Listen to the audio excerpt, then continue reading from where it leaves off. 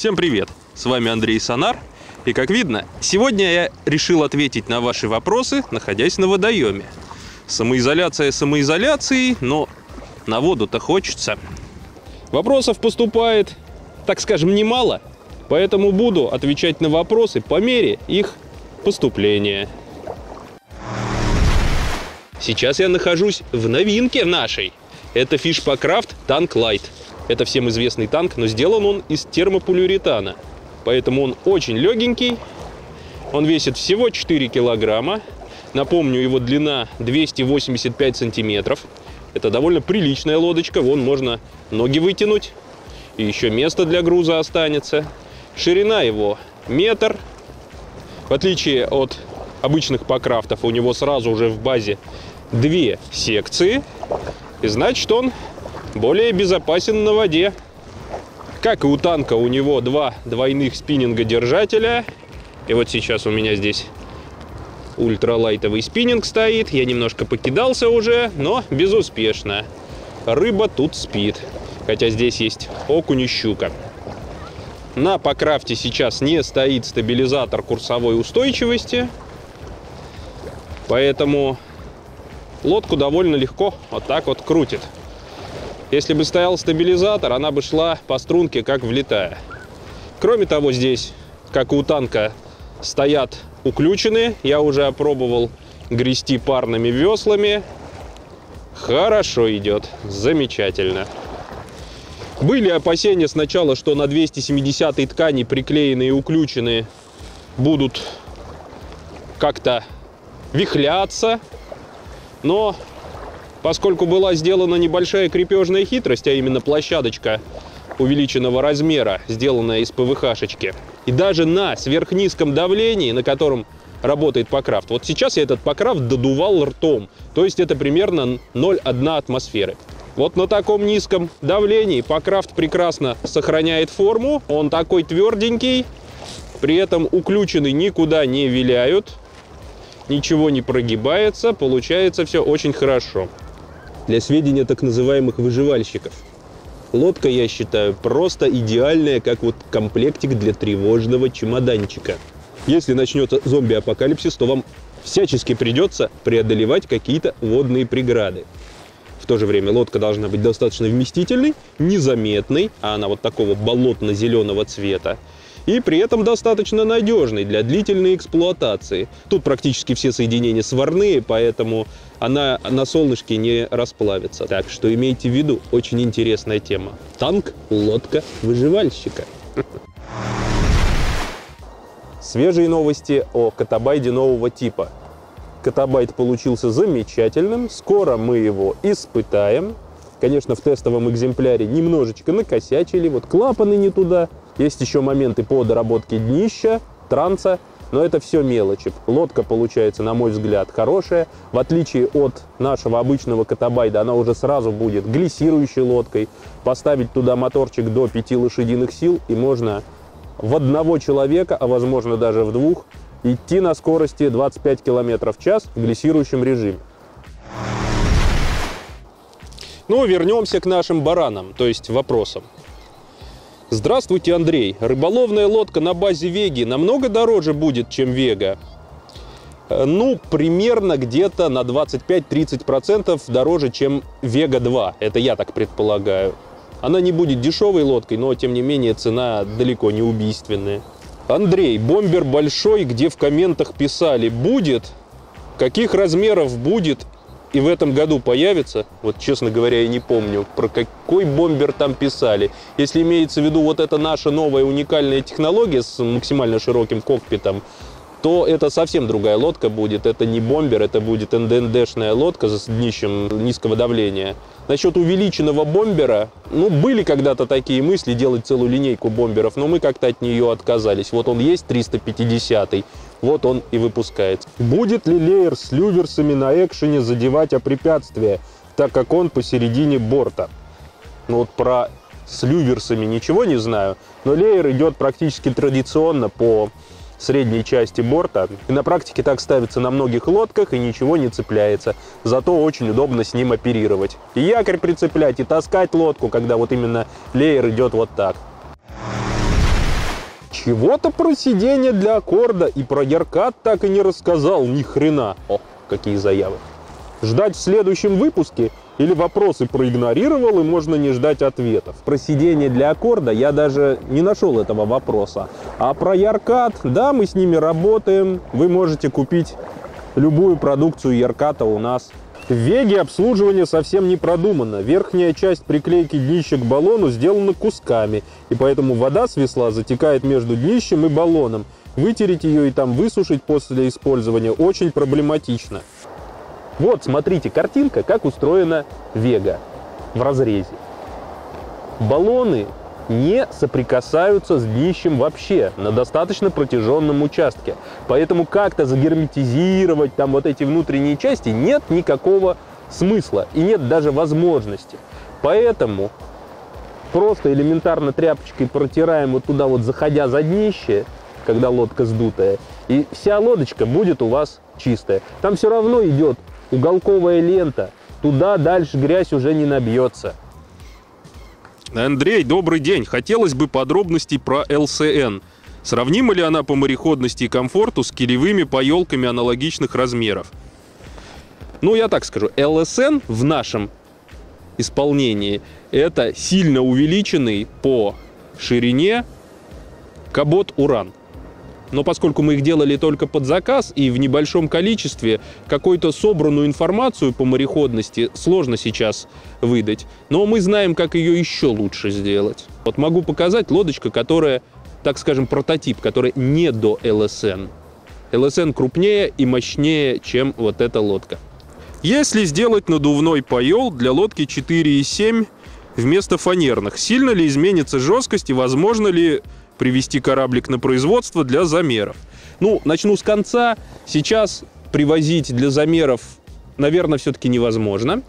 А что касается будет ли изменена жесткость, да, будет. Чем лодка больше, а особенно чем она шире, тем э, менее жесткой становится лодка, если на нее ставить аэрдек. Приходится для особо широких лодок, у которых начинается ширина там от 80 сантиметров, туда ставить специальные поперечины, сделанные из фанеры, которые будут добавлять жесткости, и лодка тогда не слишком будет уступать паёльной по жесткости. Лучше всего аэрдечный пол раскрывает себя на достаточно небольших лодках длиной до 380 сантиметров и шириной кокпита не более 85 сантиметров. Для более крупных лодок тоже можно делать надувной пол, но это будет не настолько оптимально. На сайте катамаран рыболовный в новинках разместили, а тут чего не повесили? Ну, на сайте это один катамаран, а вот тот секретный катамаран, о котором я говорил во втором выпуске, это совсем другой катамаран. Его пока не раскроем. А сюда, то есть в группу ВКонтакте, да, добавим тот катамаран. Но он не такой интересный, как вот тот секретный.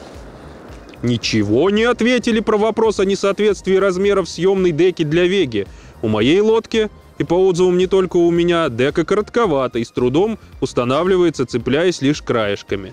Вот когда у нас ОТКшники собирают лодку, они всю ее целиком собирают. То есть они натягивают на нее деку, устанавливают все элементы. Если все хорошо, то только тогда лодка уходит клиенту. Но что тут может быть? Они могут сначала соединить все элементы, натянуть деку, а после этого накачать лодку воздухом. И в этом случае получится то, что дека по размеру и все хорошо. Но если вы сначала лодку накачаете до полного рабочего давления, а потом попробуете на нее поставить деку, вот тут может ждать сюрприз. Потому что все элементы подогнаны так, чтобы не было там провисаний каких-то, потому что провисание очень плохо для деки. Если вода попадает, она создает вот это вот озеро прямо вот на палубе, и это озеро может куда-нибудь в итоге стечь, что будет неприятно. Поэтому делаются все эти элементы, деки там, фартуки, они делаются без какого-либо запаса. Если вы считаете, что нужен какой-то люфт, какой-то вот запас, чтобы можно было сделать такой перехлест, пишите в комментариях. Может быть, мы перейдем на эту схему. Жду свою Вегу 2. Возник вопрос, стоит ли приклеить плавник-стабилизатор? Ведь использовать буду далеко не на максимальной загрузке. Допустим, поехал на рыбалку, я 67 килограмм и пусть еще 15-20. Мало для Веги 2, чтобы как матрас не плавала. Вега не будет плавать как матрас уже при загрузке около там 90-100 килограммов. Хотя для Веги 2 это может быть цифра чуть побольше. В любом случае она уже штевнями начинает резать воду как надо. При этом у нее уже будет большая скорость, так что сильно переживать не стоит. Однако, если чувствуете определенного рода беспокойство, то можно, да, заказать плавничок на нижнюю часть днища. Он поможет при движении. Про фишпакрафт вопросов вообще нет. Делаю вывод, что это самая крутая лодка. Сделали и нет вопросов. Ну да, сделали и нет вопросов. Вообще фиш по крафт и очень хорошие лодки получились. С них удобно ловить, они вот вот я в фишпакрафте танке сижу. Это фактически кресло на воде. Вот, спиной облокачиваюсь на горбик. Локти могу положить на баллоны. У меня ничего не устает, я расслаблен. Ноги вытянул. Сижу хорошо, удобно. Если надо что-то какими-то такими делами заниматься, я могу привстать, сесть более вертикально, тогда упираюсь только поясницей, а не большей частью площади спины. И, например, там спиннингом обкидываю. В этой лодке не надо практически ничего дорабатывать. Она идеальная для своей, своей области применения. Здесь рыбы нет. Каким насосом быстрее всего накачать лодку? Электрическим, двухконтурным. Он очень быстро качает. Ну а вот если взять наши байдарочные, покрафтовые дела, то быстрее всех накачивает мешок-насос. Вот, например, этот покрафт мешком-насосом накачивается где-то за 2-3 минуты. На втором месте, пожалуй, большая ножная лягушка. С ним может посоревноваться большой 3-4-литровый поршневой насос. Ну, соответственно, всякие маленькие насосики будут накачивать дольше. Не советую накачивать любые лодки с помощью автокомпрессора, который предназначен для накачивания колес, так как очень легко можно перекачать лодку. У нее нет никакой отсечки по давлению, как это сделано на насосах для надувных лодок на электрических, поэтому можно слишком большое давление накачать в лодку и испортить ее. Почему на некоторых моделях лодок есть морщины на ткани, а на некоторых нет? Если в лодке есть крутые изгибы, если лодка сделана из баллонов малого радиуса, и там крутой изгиб самого вот этого вот радиуса. Если лодка стремительная, веретенообразная, то, скорее всего, там будут складки. Потому что иначе никак. Или мы имеем лодочку со складками, но при этом великолепную по гидродинамическим характеристикам. Или мы имеем красивый, без складок утюг. И еще один момент – Складкам подвержены лодки относительно небольшие. Если мы возьмем эту лодку и увеличим ее в два раза, то есть сделаем ее размером как большую моторную лодку, то в ней эти складки уйдут, потому что при той же форме радиусы вот этих всех загибов, радиусы баллонов будут в два раза больше. И поэтому никаких складок там уже не будет. Да, конечно, перфекционисты могут от этого немножечко пострадать, но если вы уж хотите красивую лодку, безо всяких изъянов, то покупайте самурая. Он сделан из эрдека, выглядит вообще великолепно, но тяжеловат и дорог. Самая характерная форма лодок, которая вот создает эти складочки, это малые варвары. И вот складочки идут по бананообразным баллонам с очень такой высокой крутизной загиба баллонов, вот как, например, на фишкаяке. Тут, как говорится, или мореходность, или складочки. Третьего не дано. По поводу широкой лодки. Есть китобой от компании «Звезда». Какой ценник будет у тайм-триала? Ну, во-первых, вот та самая хитрая лодка, у которой будет сверхширокий кокпит, о которой я говорил, она будет шире этого китобоя, причем существенно. По цене она будет где-то между каботом нашим и бомбером. Лодка довольно сложная, она будет почти 4 метра длиной, при этом кокпит у нее будет за метр, на нее уйдет прилично ткани, так что сверхбюджетной она не будет, но и особо дорогой тоже. Когда у тайм-триала пойдут парусные катамараны и другие парусные плавсредства собственной разработки? Планируете лишить собственные паруса? Ну, в прошлом году мы планировали это делать, на этот год. Но так уж ситуация складывается, что тут сейчас не до новых разработок. Мы это держим в памяти, мы этим хотим заниматься, и рано или поздно мы этим займемся. И обязательно вам про это расскажем. Интересно, какой процент от продаж и мощности производства составляет рыболовно-туристическое направление в вашей компании? Основной вид деятельности у вас, возможно, аттракционы. Просто интересен именно расклад в процентном соотношении по разным направлениям. Подозреваю, что рыболовно-туристическое – это максимум процентов 10-15. А вы с какой целью интересуетесь, товарищ? По соотношению вы не угадали. Но более подробную информацию я по очевидным причинам не дам. Есть возможность деку изготовить для двушки Веги, но с люком под одиночку. Любой каприз за ваши деньги. Согласуйте это дело с менеджерами, и производство вам это все сделает. А для чего так руками махать? Вообще, это у меня само так получается, я специально это не делаю. Я ведь музыкант, я еще и дирижировать могу. А какая функция вертикального монитора с графиками, не пойму. А эта информация строго секретна. Если я ее разглашу, за вами придется выехать. Шутка. На самом деле просто для антуража.